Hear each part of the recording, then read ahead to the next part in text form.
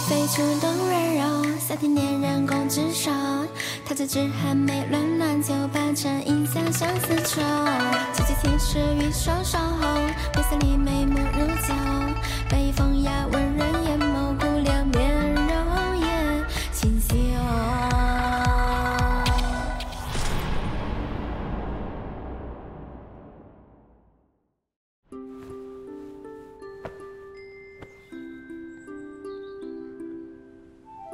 夫人，什么也别说了，我都懂。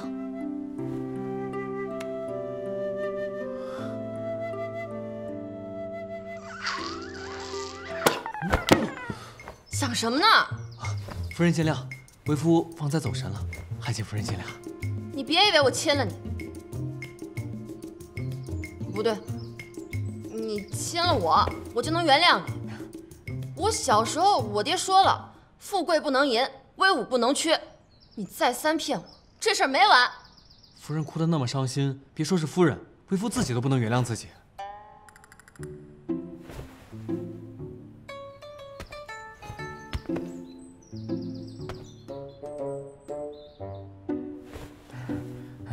你又使什么坏呢？为夫这次真的是真心的，只不过这眼下的当务之急是岳父岳母知道了刺绣是为夫替你刺的，那只怕都怪你！要不是你把我气急了，我能说漏嘴吗？我，我爹是个爱面的人，我估计啊，这件事他早就吹出去了。这下可倒好了，他非得把我两条腿都打断了不可。夫人别怕，为夫为夫你有办法？为夫替夫人分担一条腿。老爷，您在吗？夫人，起来吧。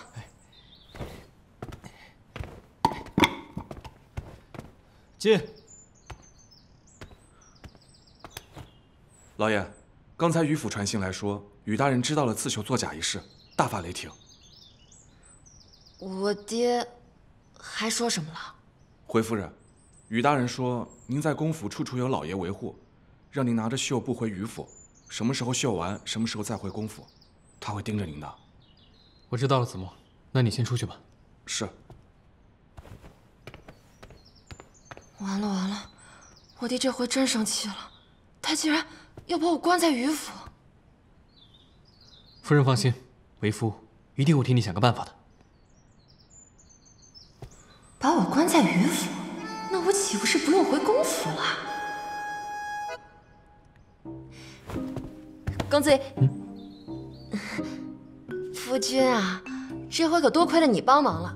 嗯，父命难违嘛，那妾身现在就回去收拾东西，回于府去了。哎不，夫人，你若是走了，那为夫可……你好好在这儿反思吧，你，你什么时候认识到自己错了，什么时候再来找我呗。为夫已经知道。春桃，夫人，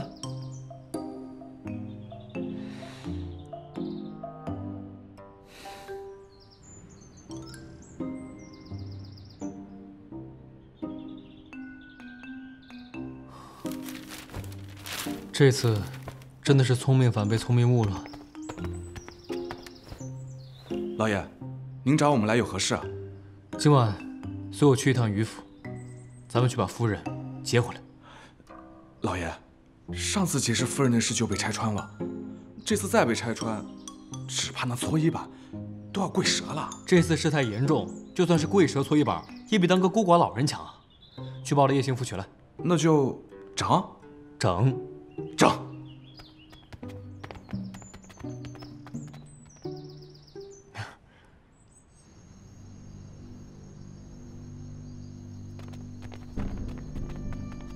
慢慢绣。哎呀，好了，今天就到这儿吧。又是努力工作的一天啊！哎，睡觉。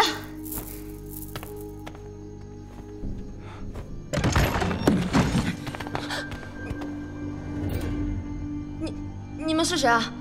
雨小姐不必害怕，只需乖乖跟我们走上一趟即可。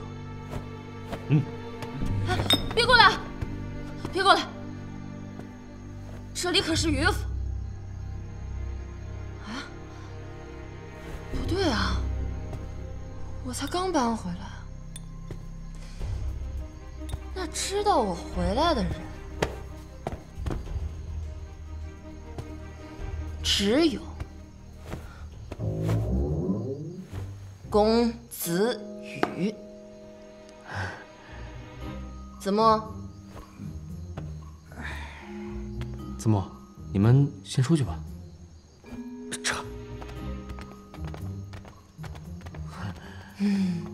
夫人真是聪慧啊。居然一下就认出为夫了！少拍马屁了。说吧，穿成这样来干嘛？为夫也只是想接夫人回去。哎呀，我说夫君啊，就算你今天晚上把我抓回去，那我爹明天还是要把我接回来啊。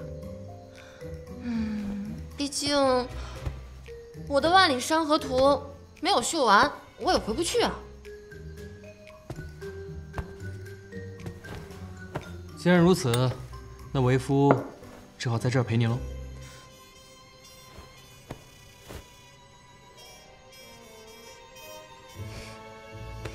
既然如此，那我就帮夫君一把。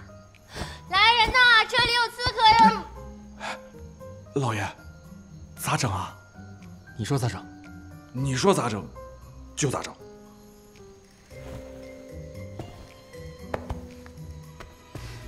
今日是夫人技高一筹，明日为夫再来讨教。撤。哎。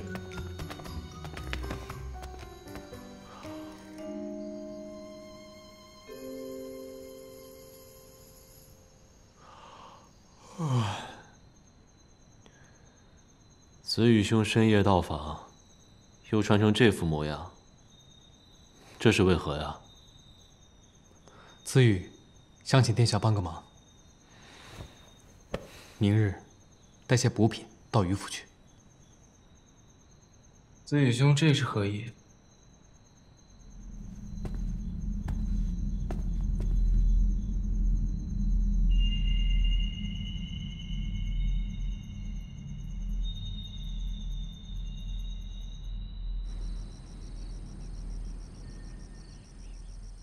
你说那雨新欢回到余府住了？是的，少主，公子羽一定是察觉到了什么，所以才打着幌子把万里山河图送到余府去了。哼，不过是公子羽的障眼法而已，万里山河图肯定还在他的府上。而且他能有此行径，十有八九孙媚娘已经绣好此图。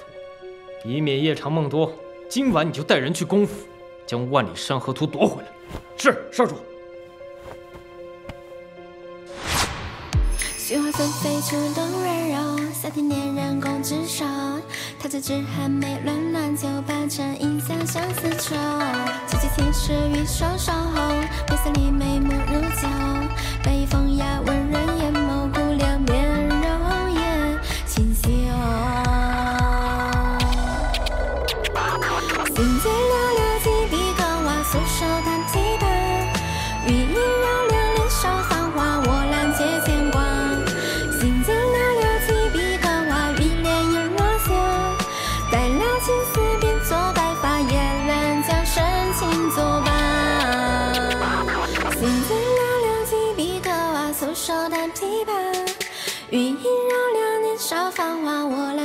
牵挂。